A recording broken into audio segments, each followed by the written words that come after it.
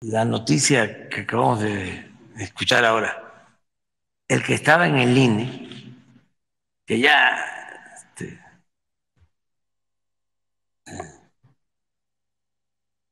es preferible olvidar. Eh, esta desfachatez. Se va a la UNAM, pobre UNAM. Me habla mi alma mater. No, no, no, no. No. Bueno, pero eso pasa. Pero luego irse de comentarista con Loré de Mola. Imagínense cuánta gente engañada defendiéndolos, porque el INI no se toca. Supuestamente ellos, ¿no? Este, independientes,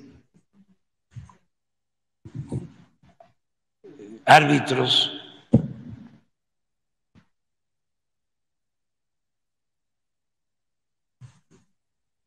con Loret. O sea, eh, es una involución, porque si hubiese regresado como estaba antes de comentarista de Carmen Aristegui, pues a lo mejor no, no, no, no, no, no era tan este, grotesco.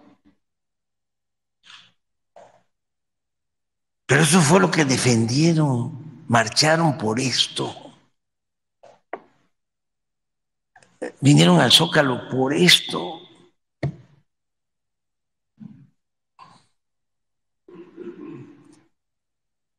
En esencia, ¿qué les va a importar la democracia? ¿Qué les va a importar?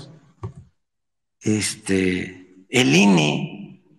No, no, no, es esto. Es una decadencia. No cabe duda que tenía razón el presidente Juárez. El triunfo de la reacción es moralmente imposible.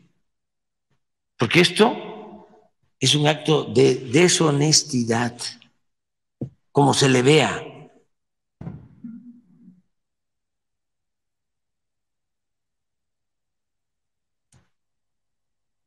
Solo faltó que se fuera de presidente de la organización de Claudia X González, que debe estar ahí también como asesor, pero eh, puede ser que honorario.